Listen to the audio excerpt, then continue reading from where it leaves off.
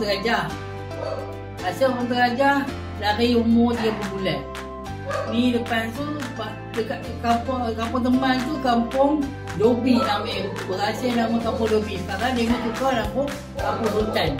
Boleh tu boleh tapi Tak saya selesa. kena cakap secara slow-slow. Ah. Macam sekarang katakan uh, Cik, saya berasal dari Malaysia.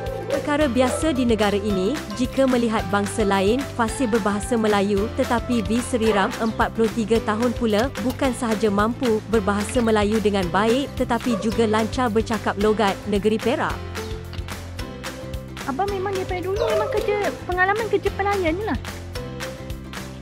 Sebelum pelayan jadi pizza maker dekat Domino's Pizza. Oh, pandai lah buat masak pizza ni. Hmm. Disebabkan itu, ada yang menyangka anak jati Perak berkenaan merupakan orang Melayu sedangkan dia adalah kaum India Tulin. Menurutnya, membesar di persekitaran perkampungan Melayu di Kampung Dobi, Pekan Lama Batu Gajah, Perak sejak berusia 2 tahun menyebabkan dia sudah terbiasa dengan dialek tersebut.